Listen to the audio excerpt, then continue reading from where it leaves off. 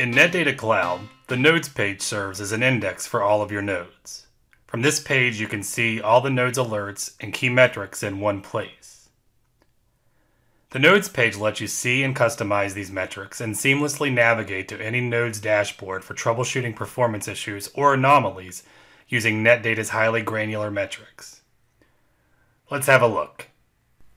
You can see in the field in the top right corner that nodes are grouped by service or application by default.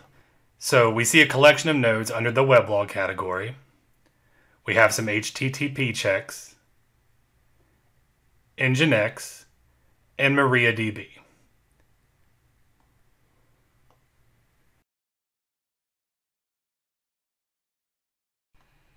The nodes overview groups your nodes by service, but you can also group them by alarm status or elect not to group them at all.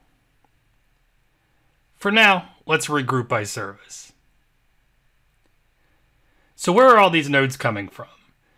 You can see here we're in a specific war room. All the nodes in this specific war room will display here. Each node occupies a single row, first with an alarm status, yellow for warning, red for critical, then we have basic information about the node itself, followed by columns of user-defined key metrics presented in real-time charts.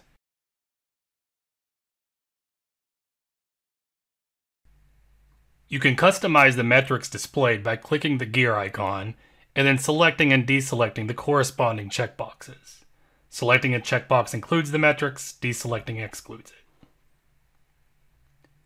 If you're interested in monitoring an unlisted metric, click the gear icon, click Add Metrics, select the context, then give your metric a title, and in this instance, we will map all dimensions.